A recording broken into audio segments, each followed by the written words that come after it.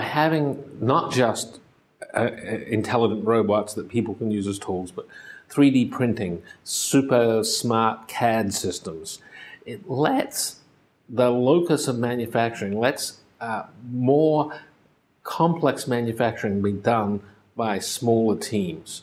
Uh, it, it, empowers them to do more and do more interesting stuff, frankly. Detroit is the home of automobile manufacturing. Automobiles are becoming higher and higher tech. I tell everyone, you're driving around inside a robot, and 10 years from now, it's going to be an even smarter robot. Cars are becoming robots.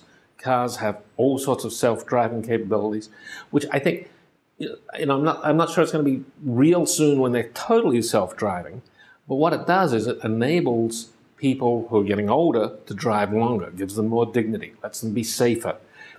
Cars are the epicenter, actually, of robotics. They're a robotic product.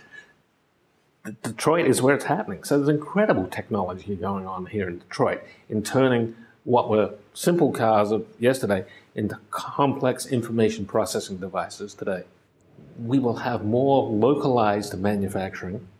Um, it may become more sort of uh, less generic manufacturing with more craft. You know, uh, you know, just as as Kentucky is the home of bourbon uh, and Detroit has been the home of cars, it may become the, the home of other um, particular sorts of, of, of, things that are built here or built in a certain way. Um, and that, but that will happen across the US.